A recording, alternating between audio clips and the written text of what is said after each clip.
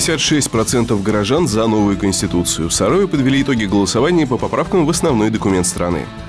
Молодежь и цифровизация. В Сарове стартует совместный проект информационного альянса атомных городов и Центра поддержки предпринимательства.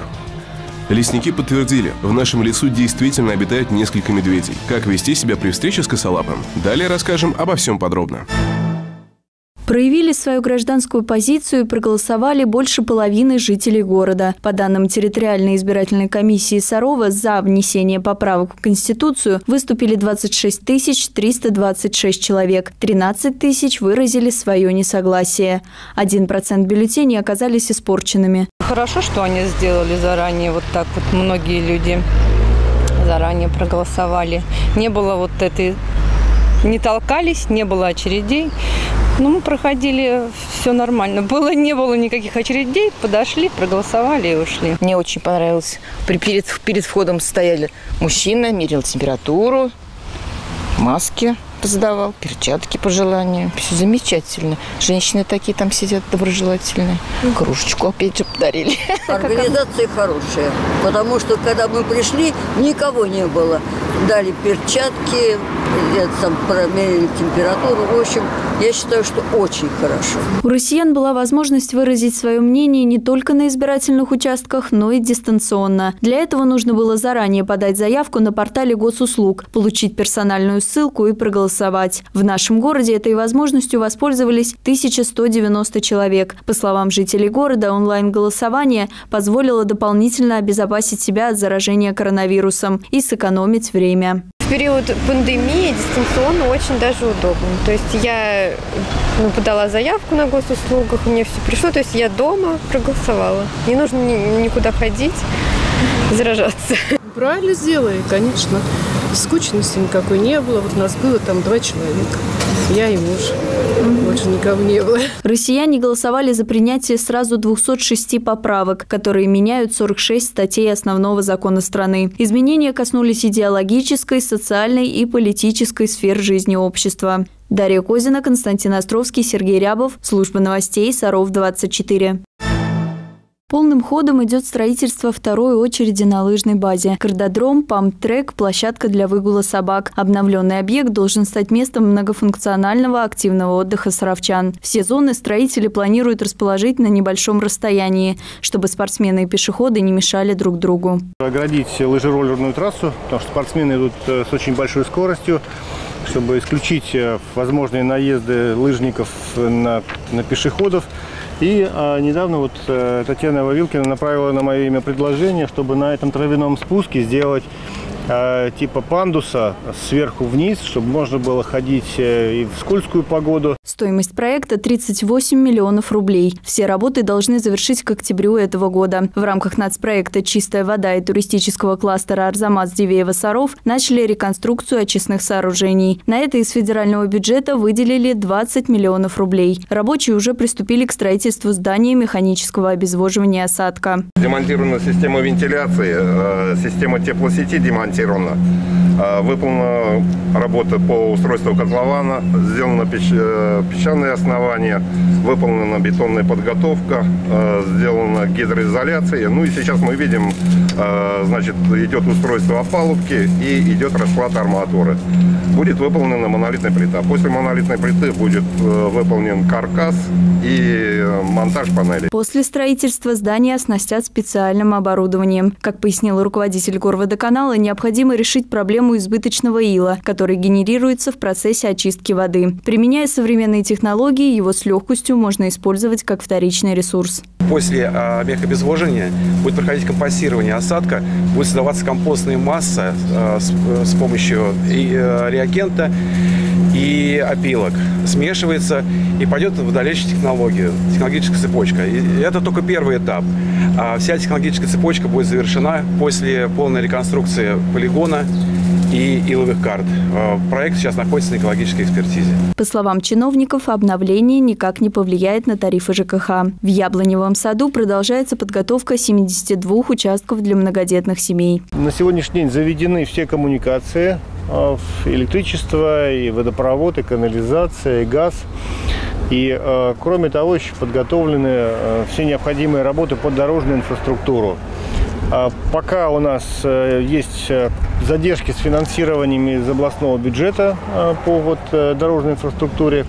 С этим мы работаем. Жеребьевка пройдет с 1 по 31 августа. На земле по 7-8 соток владельцы смогут возвести собственное жилье с учетом требований по площади и этажности. Также в микрорайоне планируют построить детский сад на 90 человек. Дарья Козина, Константин Островский, Александр Мальков. Служба новостей Саров-24. Дети не менее подвержены ковиду-19, чем взрослые. С начала пандемии в Сарове зафиксировали более 60 случаев заболевания у маленьких пациентов. По данным на 29 июня, 73 ребенка находятся в списке контактных. Чаще всего болезнь протекает в легкой форме, без госпитализации. Тем не менее, это не исключает и тяжелого течения заболевания, и в Российской Федерации зарегистрированы и летальные исходы. Клиническая картина проявления у детей, она очень-очень скудная. В основном проявляется либо какой-то температурной реакцией, отцофибрильной, эпизоды до 38,5 и 39, и легкими катаральными явлениями в виде першения в горле, боль при глотании – и легкие проявления насморка. Эпизодически у подростков могут быть жалобы на э, нарушение обоняния. Во многих случаях болезнь протекает бессимптомно. Врачи выявляют коронавирус у ребенка по обследованию в рамках контактов в семье и детских садах.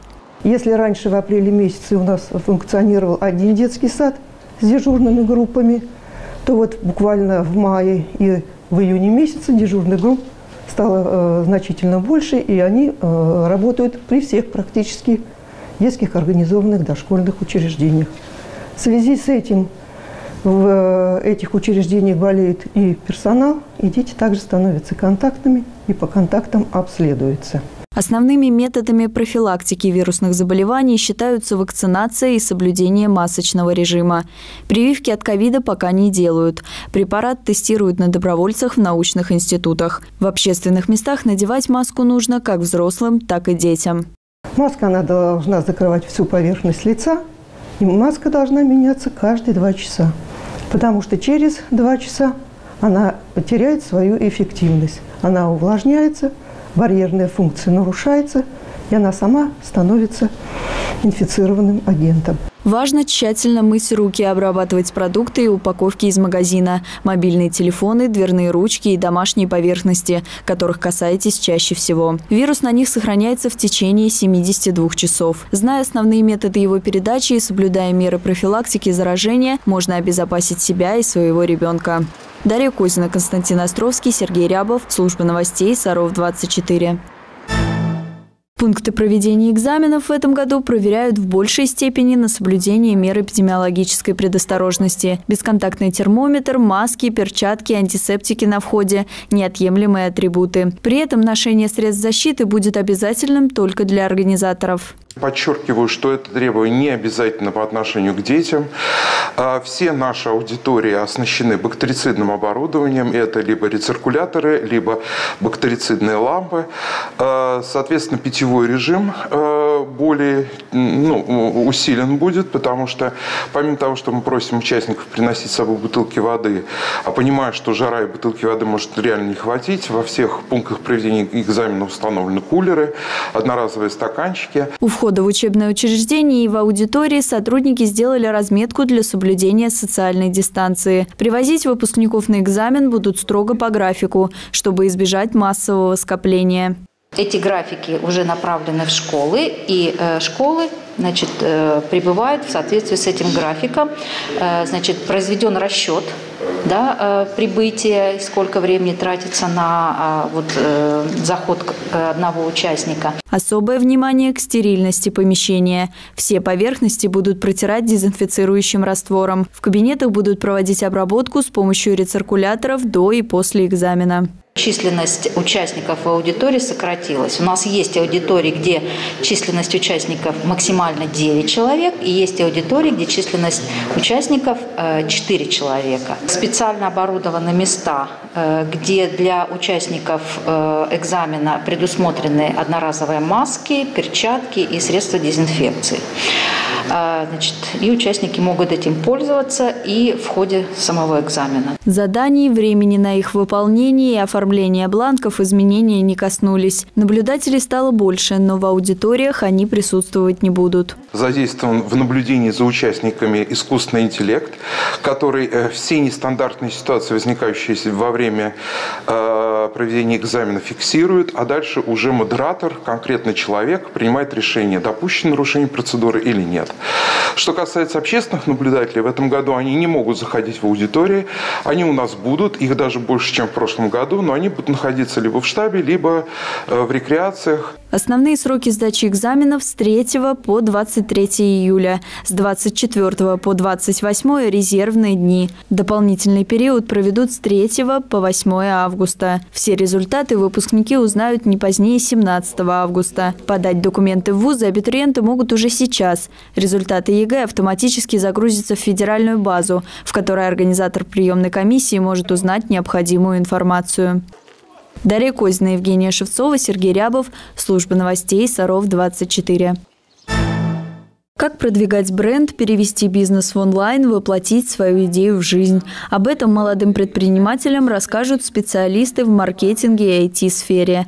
Проект «Школа, молодежь и цифровизация» проводится среди молодых жителей городов присутствия госкорпорации «Росатома». Школьники, студенты, молодые предприниматели, в общем, все молодые амбициозные ребята, которые хотели бы реализовать какой-то бизнес-проект, имеют идею, либо, может быть, уже сложившийся бизнес, и как-то хотели бы его цифровизировать. Проект мы реализуем при поддержке информационного альянса «Атомные города», госкорпорации «Росатом». Не только Саров в этом проекте будет участвовать. То есть э, сейчас получается, что Саров формирует свою команду.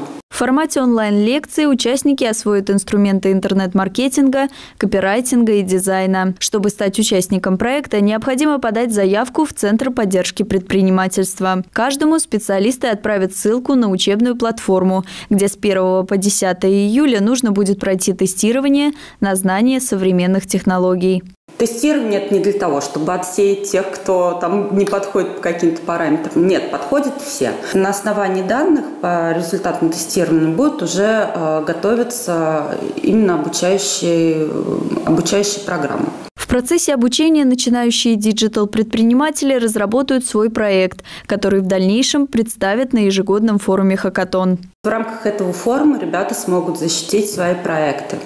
Э, возможно, смогут получить какое-то финансирование, но в любом случае получат э, массу впечатлений, массу эмоций, э, с большой вероятностью какие-то заказы, возможно, будущих работодателей, либо своих бизнес-партнеров. Обучение продлится до 10 сентября. Все участники получат удостоверение повышения квалификации по специальности менеджер управления диджитал-проектами. Подробнее о программе можно узнать на сайте Центра поддержки предпринимательства города Сарова. Дарья Козина, Евгения Шевцова, Сергей Рябов. Служба новостей Саров-24.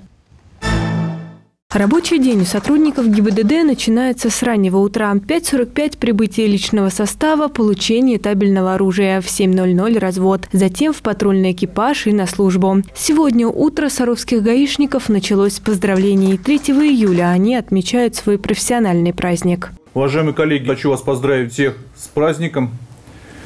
Удачи, здоровья, семейного благополучия. Саровском ГИБДД работает около 50 человек. На торжественном собрании 25 сотрудникам вручили благодарственные письма. Среди награжденных майор полиции Татьяна Лыткова. Больше 15 лет она несет службу в полиции. В ее работу входит регистрация административных протоколов, выдача водительских удостоверений. Мы находимся 24 часа на работе, действительно, потому что нарушений бывает очень много и в праздники, и не в праздники. Сегодня я получила для себя первый раз почетную грамоту, про почетную грамоту от нашего руководителя, от нашего руководителя, начальника УВД Чернышова Андрея Анатольевича. Для меня это двойной праздник, потому что почетная грамота, она заносится в личное дело, очень приятно. Сотрудники полиции несут службу в любую погоду, в мороз, дождь, жару. Для них долг службы превыше всего. Они строго следят за соблюдением правил дорожного движения водителями и пешеходами. Редакция нашего канала поздравляет всех сотрудников ГИБДД с профессиональным праздником. Желаем легкой службы и пусть на жизненном пути не будет нарушителей, преград и прочих неприятностей.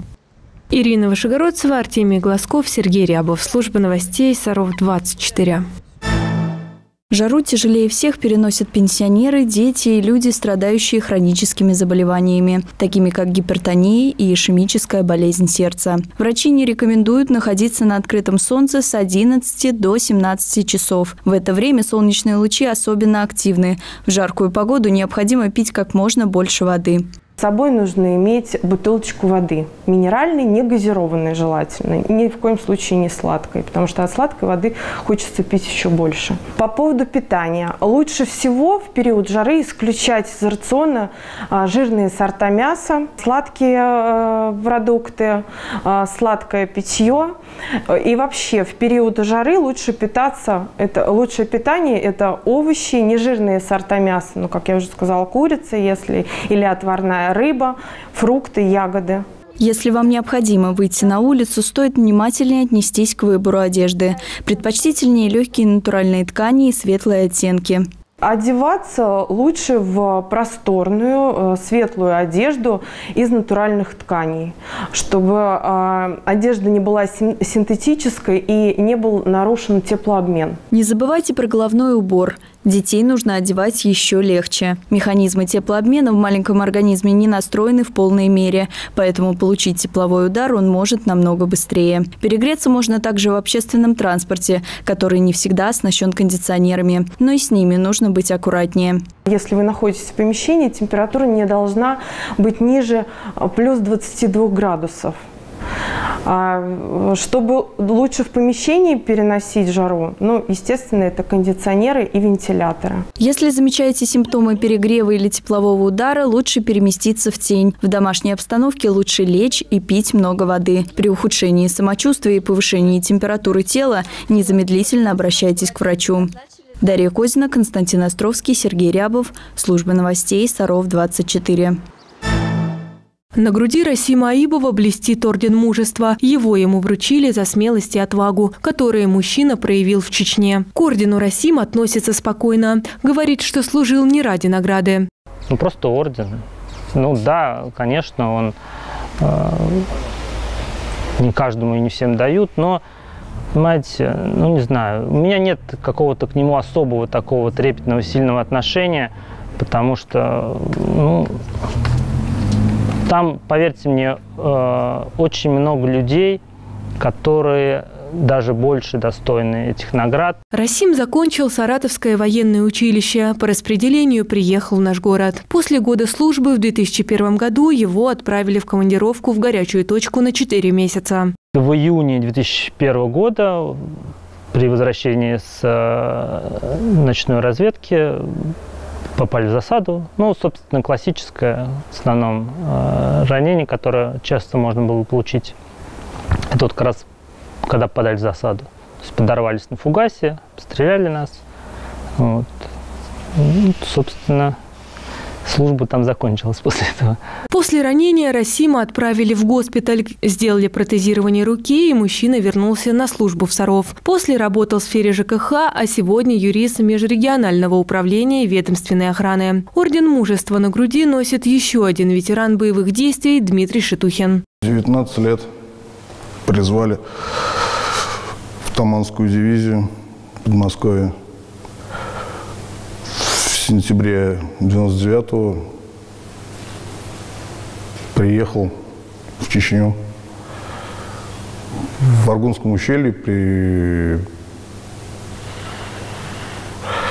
главный дозор колонны попали в засаду, был ранен. Дмитрия ранили в бок. Одну пулю смогли вытащить сразу, а вот вторую достать не удалось. В моменты досмотра в аэропорту или на ЖД вокзале металлоискатели реагируют на нее, и Дмитрию приходится предъявлять медицинскую справку. Всего в Сарове около 500 ветеранов боевых действий. Это люди, которые воевали на фронтах Великой Отечественной в Чечне и Афганистане. 1 июля – их общий праздник. В этот день нет митингов и не звучат торжественные речи. Но для тех, кто прошел через войну, это еще один один повод вспомнить тех, кто не вернулся с полей сражений. Ирина Вышегородцева, Константин Островский, Александр Мальков. Служба новостей Саров 24. В лесном массиве нашего города живут три медведя. Так могла бы начинаться сказка, но это быль. Наши медведи гораздо меньше таежных собратьев. Высоту достигают метра семьдесят пять.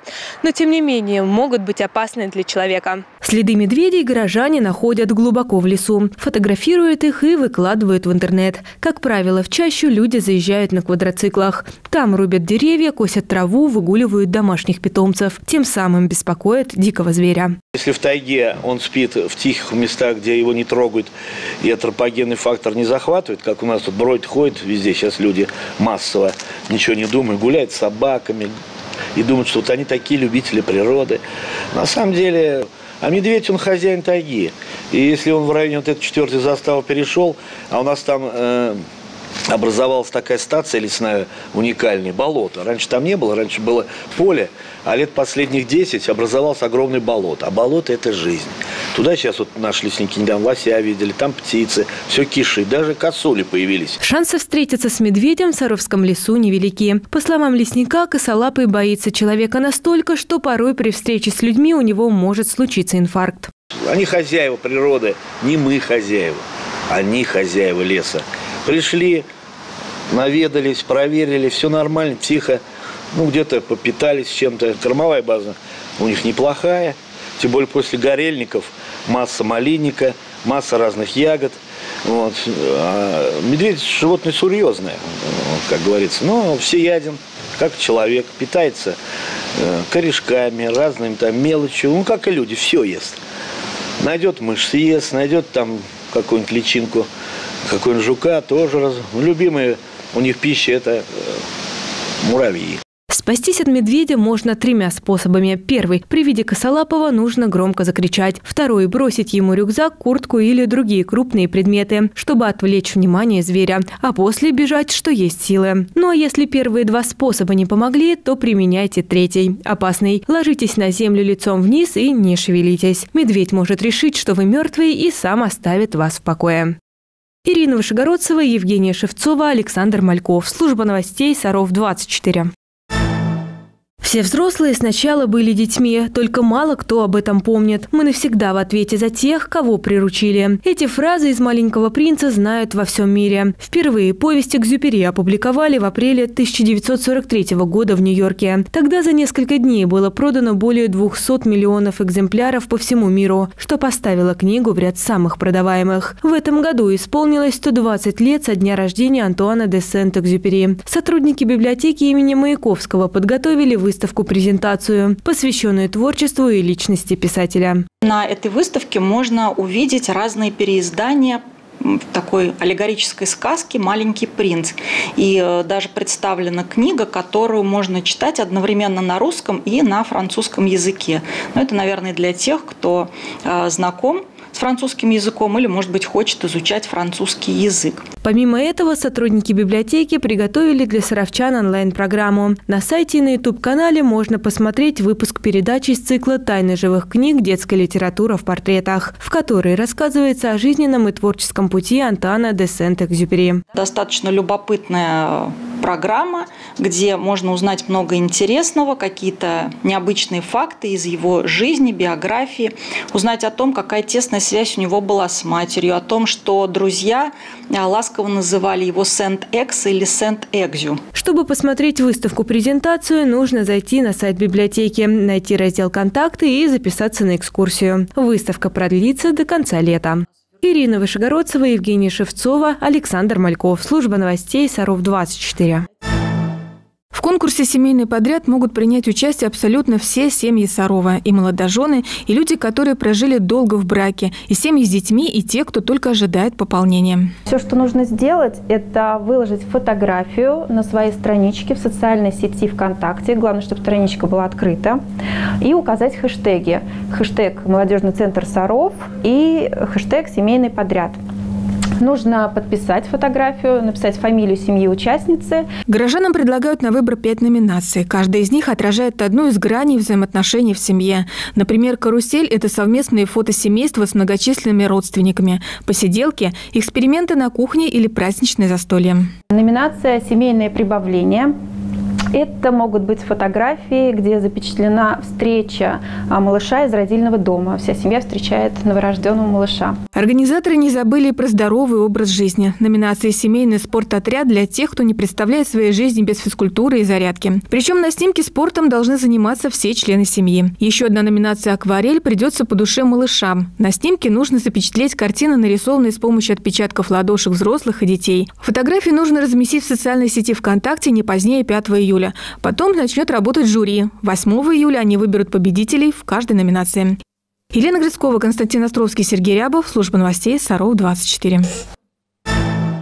Участники спортивного клуба «Тритон» чистили дно пруда Борового три недели назад. Тогда еще никто не знал о сроках начала купального сезона, но для мужчин было важно подготовить водоем к приходу сыровчан. А так как летом на Боровом купается очень много детей, то забота об их здоровье была приоритетной. Не ограничимся и городом, также э, берем под контроль э, реки, прилегающие к Сарову, по согласованию с администрацией, в частности города или других муниципальных образований, мы выезжаем, контролируем, э, чтобы браконьеры не ставили сети, очищаем водоемы. Акции по очистке водоемов от прибрежного и подводного мусора стали уже регулярными. Два раза в год перед открытием купального сезона и после его завершения участники клуба «Тритона» обследуют дно городских водоемов. Мы чистим, в общем-то, заходы в воду, где люди, купающиеся, отдыхают. Да? Если, вот, например, МЧС, как вот мне известно, они чистят а, на глубине полутора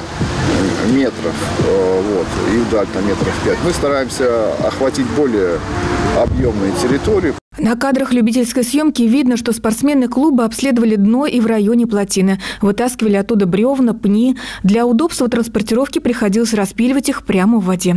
Мусора, конечно, много. Собираем очень много мешков. Около, может, 20-15 мешков. Вот. Хочу, как бы сказать, призвать людей, чтобы не мусорили, следили за собой. Оставляли мусор в контейнерах. Со дна поднимают не только природный мусор, но и то, что в водоемы накидали люди. Пластик, полиэтиленовые пакеты, консервные банки, проволоку и самое опасное – разбитые стеклянные бутылки. Помогают спортсменам в очистке водоемов их родственники и друзья. Они собирают мусор по берегам и принимают находки от тех, кто нырял за ним на глубину. Присоединиться к экологическим акциям Тритона и помочь сделать город чище может любой желающий. На странице клуба в социальной сети ВКонтакте сообщают о ближайших проектах. Елена Грицкова, Евгений Шевцова, Сергей Рябов. Служба новостей Саров 24. Юные спортсмены официально возобновили тренировки. С 1 июля ребята приступили к занятиям не более двух часов в день с соблюдением всех мер предосторожности. В закрытых помещениях это не более трех человек, а на открытом воздухе это не более семи человек. То есть, конечно, для нас это тоже хорошо, в том плане, что мы можем уже к тренировочному процессу уже привлекать детей и тренировочных групп, и групп начальной подготовки. Не более двух часов в день, в принципе, тренировочный процесс, он так и длится. То есть этого времени достаточно, э, чтобы ребенок получил полноценную тренировку. Опытные спортсмены тренируются уже с 1 июля июня. Сейчас у лыжников важный период, за который они должны восстановить силы и подготовиться к предстоящим соревнованиям. Но у лыжников летний период времени – это основной сезон, поэтому мы продолжаем. Ну, кто-то продолжает, кто-то начинает подготовительный сезон к зимнему периоду. И надеемся, что в сентябре мы сможем провести чемпионаты первенства Нижегородской области по лыжероллерам и кроссу. В июле на базе школы Олимпийского резерва «Атом» традиционно проводилось открытое первенство города. Спортсмены надеются, что соревнования удастся провести осенью. Дарья Кузина, Константин Островский, Сергей Рябов. Служба новостей Саров 24.